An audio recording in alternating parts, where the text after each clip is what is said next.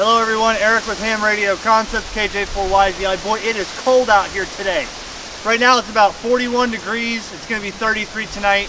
And I want to touch on something real quick that a viewer had asked me. They said, Eric, what happens if my antenna is blown over sideways? Can I still use it on HF? That's a really good, really good thing to address. And we'll test it ourselves. Before though, I want to show you how do I look in my new Yaesu jacket. This thing, check this thing out. This is probably the coolest, warmest jacket I've ever had. It's got pockets here. I got my arm pocket on the side, zipper. It's like a windbreaker, but a warm jacket by Yaesu. I bought this from Gigaparts. They were giving them away for radios back um, last year, then they ran out. Now they're stocking them. So I had to pick up my Yaesu jacket. Love it. Anyways, let me take a video of this thing bending over and then we'll check the SWR and see what happens as the thing is laying over on its side. So right now the winds uh, on my weather station, my Davis weather station, it's been clocking about uh, averaging 20 to 25 to 30 mile an hour gusts. And you can see this thing right here. It is cranking. That thing is a, that thing's moving. And uh, here's my weather station over here if I can see it. There it is. Video on that updating soon.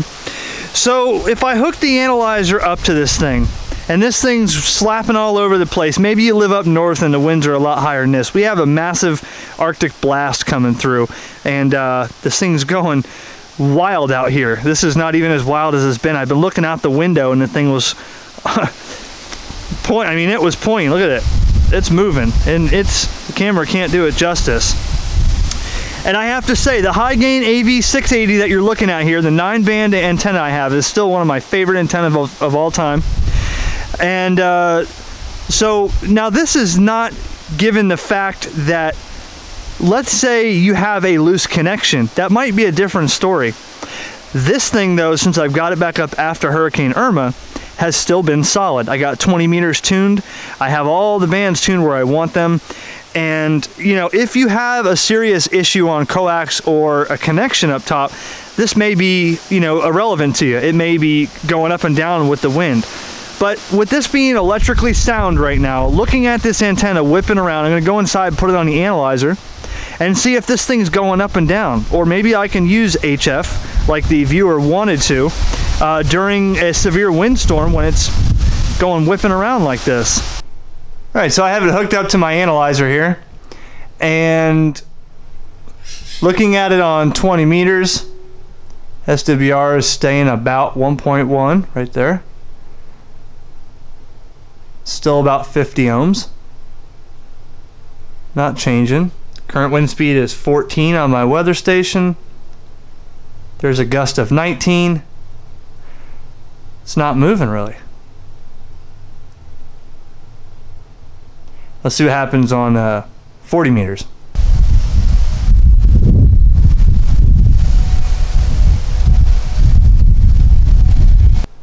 Here's 40 meters.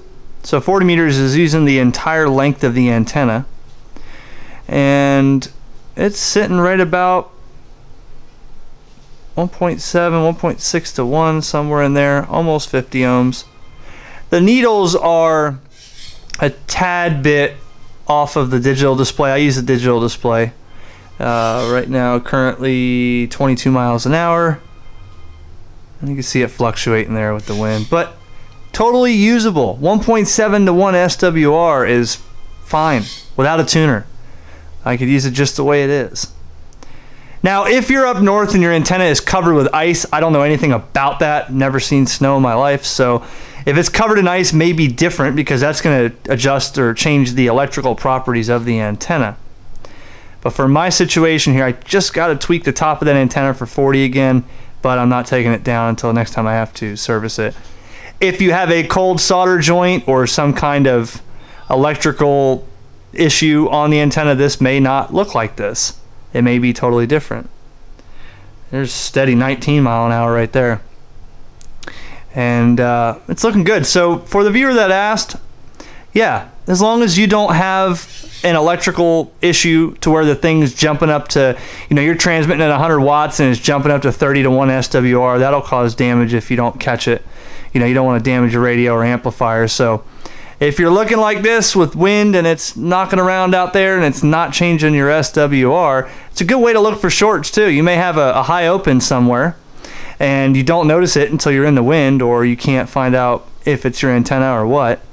I would definitely be able to see, okay, this thing is jumping to 20 to 1 SWR with the wind. I know there's a, uh, you know, a uh, maybe a cold solder joint or a, a loose uh, trap on there or something. But that's it. Hope that uh, was at least interesting for a five minute video. 7-3, thanks for watching. KJ4, Y is the eye.